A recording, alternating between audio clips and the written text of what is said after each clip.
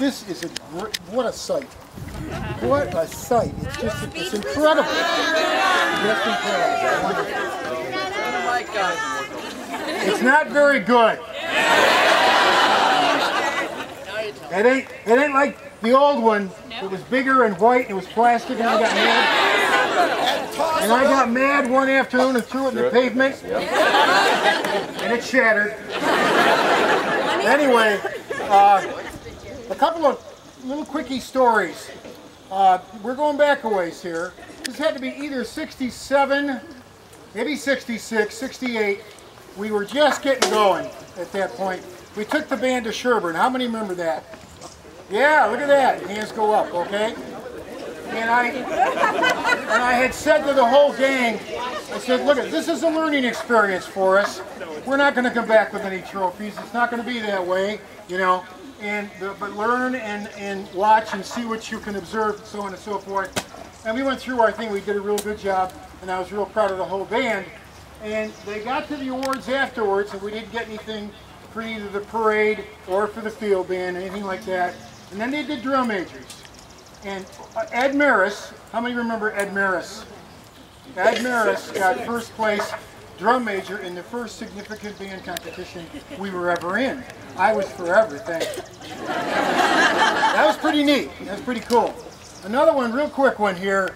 Um, I think this is back, oh, 79, 80. We just got the brand new powder blue uniforms at that point. Okay? Right? 80. Yeah. And we had played uh, a Friday night football game at home at halftime, and we were absolutely god awful. and the staff was not happy, and we gathered in what was then the staff room next to my office, okay? And I said, you know what we ought to do? I said, and I won't tell you what we talked about, but they totally agreed with me. So the next day, the marching band comes in because we're going to Oswego that night to perform, to compete, okay? This is Saturday now. And we get them all in the band room, and I, we talked a little bit about commitment and a little bit about uh, being focused and being really part of the group and the responsibilities and so on. And I said, and you know what we decided last night after rehearsal? We decided that probably staff collectively is giving of itself about 80 to 85 percent of the total 100 percent that needs to be given, and we're not getting back more than about 10 or 15 from the band. And the show that night proved it. So you know what we're going to do? Uh, we're going to withdraw all the staff from this afternoon's preparation rehearsals. And you can go home if you want to. You can do whatever you want to. But we will leave at 6 p.m. on the buses for the competition. And we got up, walked out, went over to the restaurant. Perkins. Per yep, yep, yep, yep. Went over to Perkins and sat there, okay? And every single section of the band began working on their own. I'll cut to the chase and tell you after the show was over with, we had won. I walked in to talk to the judges and when I'm looking, he said, what the heck did you feed those guys before they went in? It was just, it was a complete turnaround. and it was, it was an incredible performance. It was really, really wonderful. Um, wanted to mention uh, to you that you are all part of a very, very special experience in this band. And you have had wonderful, wonderful quality teaching and strong leadership year after year after year. And that consistency and that expectation has made this group whatever it is. That includes instructors, it includes teachers, band directors, director of music, board of education, administration, all the way. This program has retained itself for 45 years.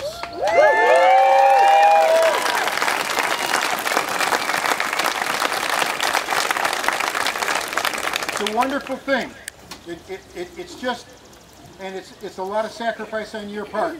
You, uh, we all have a special feeling about this group, and what you're going to do today, what you're going to do today is give a whole bunch of people down that hill a memory that they will never forget. And you will also never forget this. Because it's just, it comes from way down deep inside. Okay? So please remember that. We want to remember two people who have, have passed in the past five years that you should be aware of. Okay? Patty Eustace, a wonderful baton twirler majorette, uh, died of cancer a couple of years ago. And Kevin Kurzweil left us recently too, as I remember. Anybody else's name need to be mentioned that we don't have with us anymore? Mrs. Perry. Perry. And, and Liz Liz, Perry. Perry. Thank you. Mrs. Hodge. Mom Hodge. Perry. Mr. Gebhardt. Mrs. Hodge. Mrs. Hodge Mr. Gebhardt. and Gebhardt. Mr. Gebhardt. Yeah, yeah. Bob Morris. All of those. And Bob Morris, thank you. Yeah, great, good. Okay. Um, and, and then if, this is an example right now, and it continues. You see it, little pieces of this kind of thing as the history of the band goes along. There's a guy marching today that's going to have a hip operation, hip replacement, in about two weeks. Okay? And he would not, not march in this parade.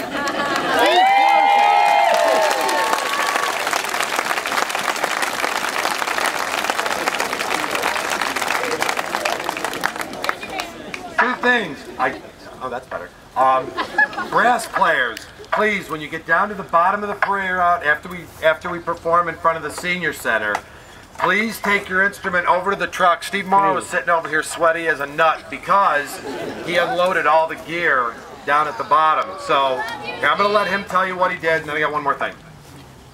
Okay, here's the deal. If, if you got a mellophone, a baritone, or a sousaphone, or a drum that belongs to another school, all the cases are in piles, but they're organized by school. Right, you got to find your case. If it's a Syracuse University piece of equipment, you can feel free to pack it and load it.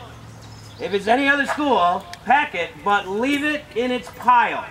Please keep the pile separate. Okay? There's been like one thing I've noticed has been in common Thursday, Friday, Saturday, and yesterday.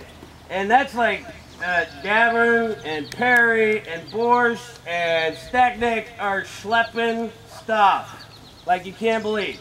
I don't want them to schlep any more stuff. Keep the things in their school pile. If it's Syracuse University, you put it right back on the truck. Any other school, pack it, but leave it with that school's equipment. We'll take care of it after, okay? Just quick, flags, uh, after parade, find my wife or myself, we'll collect everything. By the, by, near the truck somewhere. And last but not least, I think the thing that we some, we forgot about at the last reunion that really makes a strong connection amongst all of us is this. Everybody touch.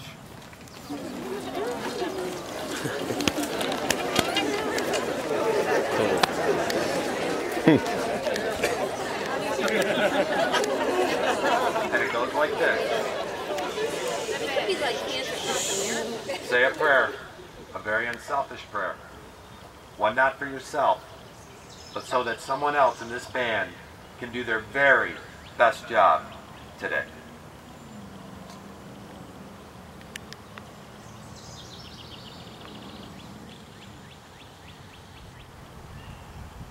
How do you feel this today? Give me a W! An I! L! D! C! A! T! S! Who's number one?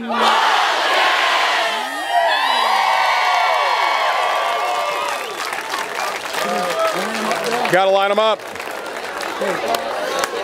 Line up! Here we go! Great job, Bruce. Thanks, Bruce. Great job.